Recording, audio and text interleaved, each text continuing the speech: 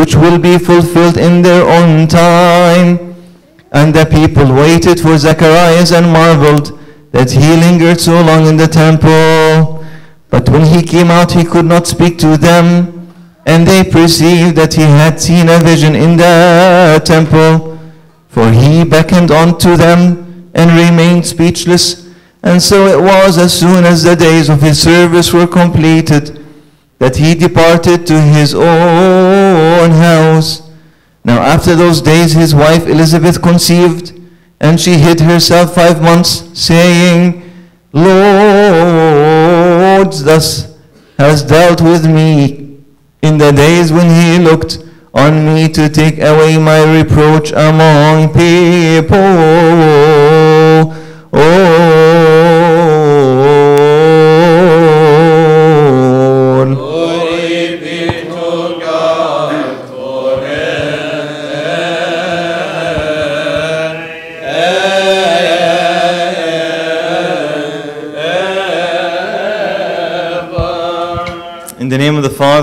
The Son, and the Holy Spirit, one God, Amen.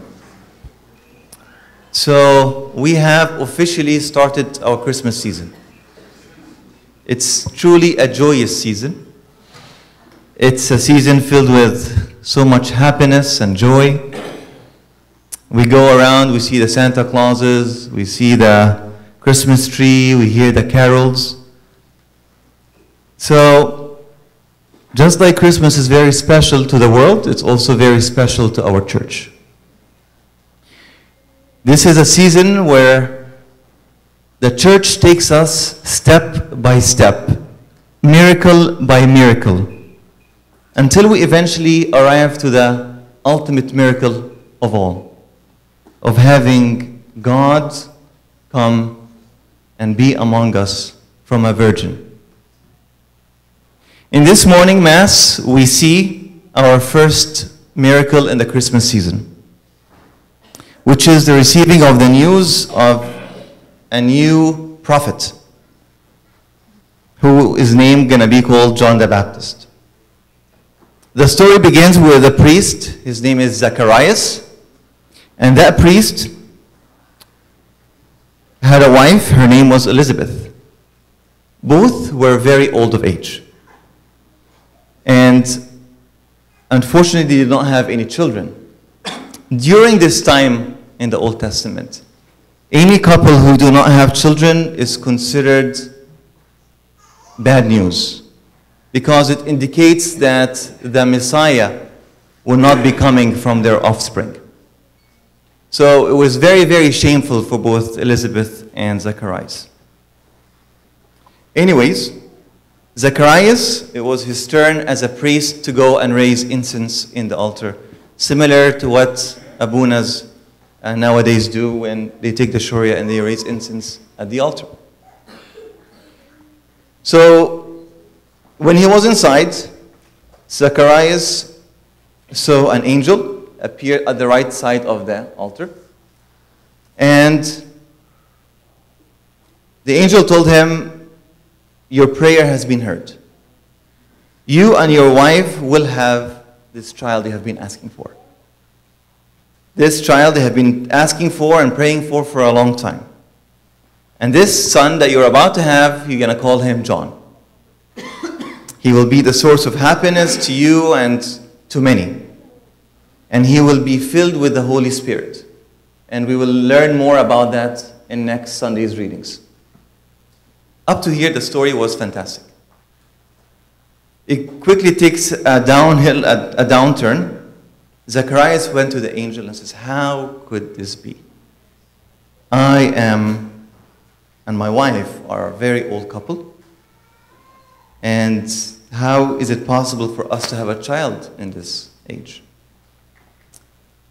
Gabriel, who was that angel who was standing at the altar, he told him, I am Gabriel who stands in the presence of God, and I was sent to you to speak to you and bring these glad tidings. Now, since you do not believe me, you will stay mute until this child is born. The angel left. Zacharias, if you can imagine, was in a state of a shock. He hung out there for a while. People started to wondering what is going on inside. Why is he taking so long? Eventually got out. He couldn't speak or address the people. So he had to, with his hands, he had to kind of gesture. It's like, you know what? Yes, go ahead. And he dismissed him. Zacharias went back home, and sure enough, Elizabeth conceived. So there are many beautiful lessons in this story. We see how righteous parents, righteous parenting, can bring forth amazing prophets. A person who Christ describes there is, has not risen anyone greater than John the Baptist.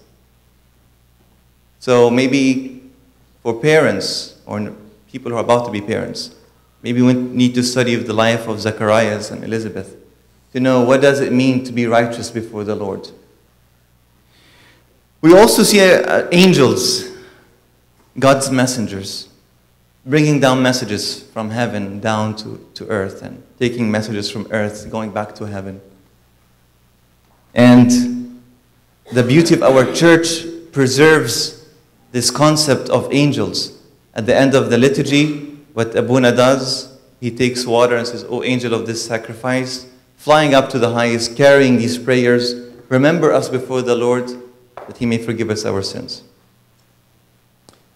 However, I would like today to focus our attention to what makes a prayer heard.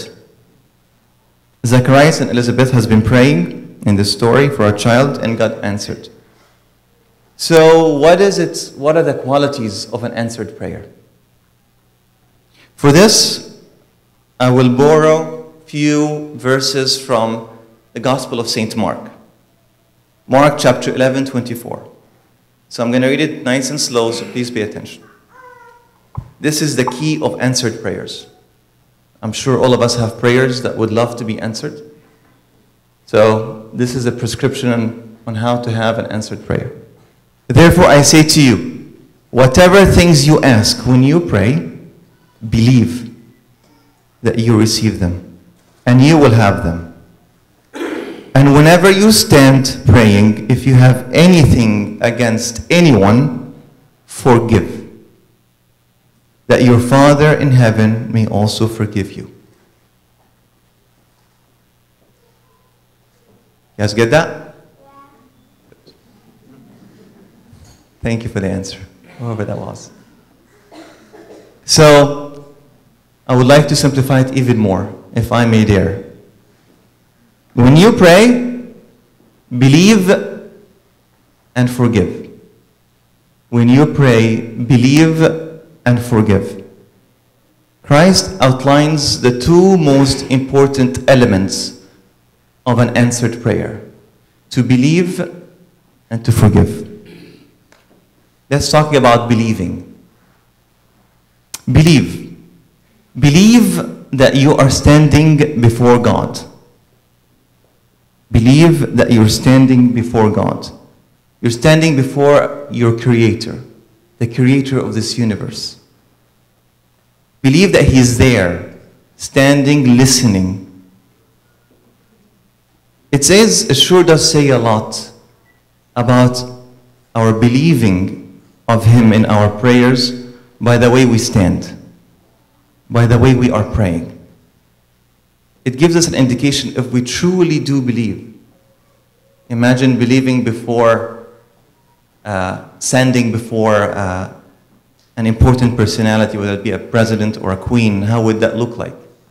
And we compare it how we stand and address our Creator. This is why in the Holy Liturgy, when we say, the cherubim says that you are he who is the cherubim praise and the seraphim with six eyes stand before you. Immediately the deacon says, stand up for prayer. This is not something to talk about dogmatic. This is a reminder for us people, everyone. We are standing in front of someone whose the cherubim and the seraphim are standing before with trembling and fear.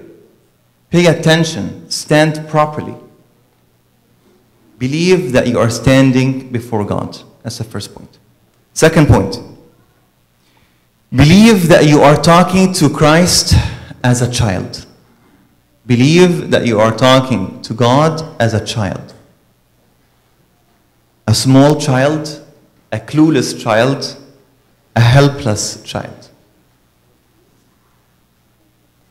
This is one of the most warming things about Christianity that we can our, address our God as children, and He commanded us that when we pray, we say, Father. When you pray, say, Our Father. Here you go. Believe that you are a child. And because you are a child, you can ask for anything. So, believe as a child that you can ask for anything. You're standing before the one who moves the whole universe, who created the universe. It's an opportunity for you to ask for anything you want. Here's the trick though. Here is the disclaimer. There are things that God would love to obey, and things that God could take some time to obey, or to listen, or to hear. Let me try to help you to illustrate. A lot of us here are parents, right? Which request would you be more willing to provide for your child when they ask? Candy or a book? Candy or a book? As a parent. What? Book. Why? It's knowledge. It's long term. It's for the future. It's for what is he about to come. Candy is just for the moment. Christ himself, this is the same thing that goes with our spirituality, with the way we ask. So, if we ask God for money, which is a grown up's version of candy, God might not provide right away. However, ask Him for wisdom. Ask Him for wisdom. He will start working on that right away. He will put you through scenarios. He's going to put you through difficult choices. He's going to send you messages. He's going to send you teachers. Christ himself said this do not ask for bread. People ask for bread. I provide the bread. That's given. Ask first for the kingdom. Ask first for heaven. Another example, he might ask for a good job. God might delay a bit. Ask him instead to love my brother, my sister. Lord, I'm having trouble with this person. My heart is too narrow. I can't accept them. They're very difficult. They're very mean. They're very different. Ask for that. Yes, God will be more than happy to provide because this is love. No kingdom of heaven without love. So, what do you say? Believe that you're standing before God. Before that you're talking to Him as a child, believe that you can ask for anything. Believe that in His promises. Believe in God's promises. When we pray, we need to reiter- reiterate God's promises. When we pray, say this God, you said, ask and it will be given to you. Seek and you will find. Knock and it will be opened. Lord, I believe you. Here I am knocking. Here I am knocking. Knocking for you to accept me. Knocking for you to forgive me. Knocking for you to change me. Believe in his promise when he said, There is temptations in this world, but be of good cheer. I have overcome the world. Believe. The last thing to believe in is to believe in God's attributes. When we ask to anyone, when we ask, how would you describe God? He's merciful, He's compassionate, He's kind, He's powerful. Believe that. When you pray, believe He is a compassionate God. Believe that He is a God of the sinners. Believe He is God does not turn away the sinner, but rather He returns and He lives. And this is something that Satan fights viciously. He works by fighting the concept of believing. Believing who God is. He says, You're unworthy. You're a sinner. You're fallen. You're broken. You're too bad. You're messed up. You're too injured. You're too dirty. When he says that, he says, Nope, that's not what God said. When God wanted to symbolize how he is, he gave us the prodigal son. Someone who went in the filth, he came back without an explanation. He hugged him, washed him up, put on a new robe, and had him return back again. He is the God of the Samaritan woman who finds any excuse to find good in us. He is the God of the 99, leaving the 99 sheep and going after one that is lost. This is our God. Believe that. So, what are the two attributes? We said believing and forgiving. We finished believing. Let's talk a little bit about forgiving. For our prayers to be answered, there are two requirements believing, and we talked a bit about that, and forgiving. This is what we're about to cover. Forgive- forgiveness is a requirement for accept- accepted prayers. When God, Christ Himself, established the bare minimum prayer, He said, What? Our Father who art in heaven, hallowed be thy name. Dot, dot, dot.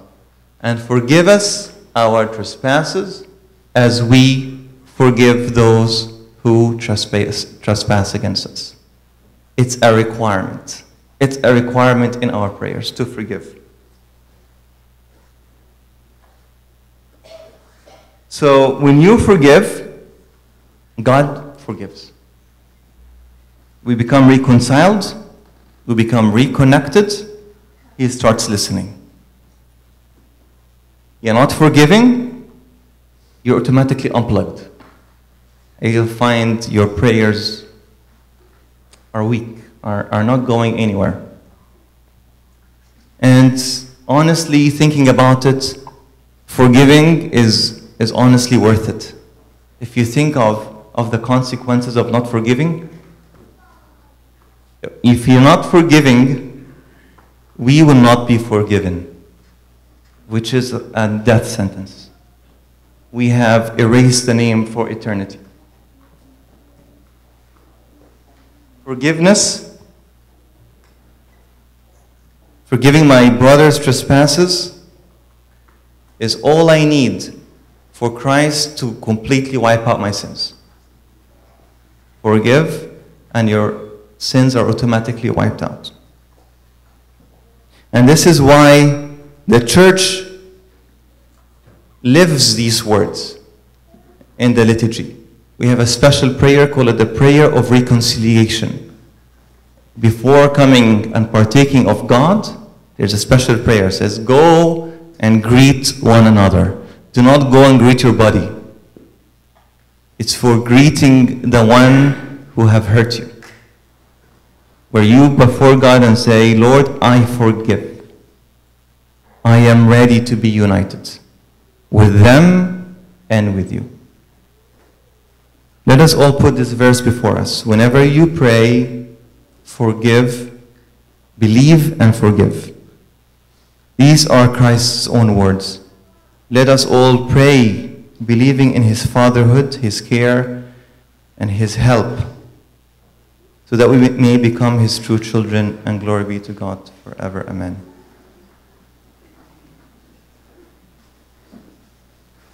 إحنا في الموسم ده بنعيد اعياد الميلاد والعيد ده very يعني very special علشان هينتهي بأكبر معجزة وهي معجزة إن الله جه وتجسد من عذراء.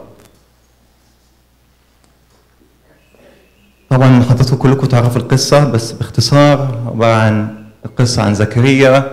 كان كاهن متجوز آه، اليصابات وكانوا متقدمين جدا في السن وما كانش عندهم أولاد. جت القرعة إن إن زكريا الكاهن يرفع بخور على المذبح فهو كان جوه بيرفع بخور ظهر لي ملاك على اليمين وقال له أنا جبرائيل ببشرك إن طلبتك ربنا وافق عليها وهيبقى عندك ولد وهيبقى اسمه يوحنا. طبعا حضراتكم عارفين إن زكريا قال طب إزاي ده يحصل؟ أنا كبير ومراتي كبيرة إزاي حاجة زي كده تحصل؟ قال له طيب أنت مش هتتكلم لغاية لما الولد ده يتولد. بالفعل. زكريا طلع وبعد كده اليصابات كانت حامل. في ال في ال في القصة دي فيها حاجات حلوة كتيرة بس أنا عايز أركز في نقطة مهمة. إزاي صلاتنا اللي نطلبها الطلبة اللي نطلبها من ربنا إزاي ربنا يستجاب ليها؟ عشان كده أنا هحاول آخد من إنجيل معلمنا ماري مرقس الاصحاح رقم 11 24 بيقول إيه؟ لهذا أقول لكم كل ما تطلبونه أنتم تصلون آمنوا بأنه لكم فيكون لكم. وإذا هممتم بالصلاة فاغفروا اولا إن كان فيكم أي شيء ضد شخص آخر حتى يغفر أبوكم الذي في السماء. سلتكم. هنا ربنا يسوع المسيح حط لنا المنهج للصلاة المقبولة إيه؟ الصلاة المقبولة محتاجة عاملين. العامل الأولاني إنك أنت تؤمن وإنك أنت تغفر تؤمن. تؤمن بإيه؟ نؤمن إن إحنا واقفين قدام ربنا. تؤمن إن إحنا واقفين قدام ربنا. وإحنا واقفين في الكنيسة.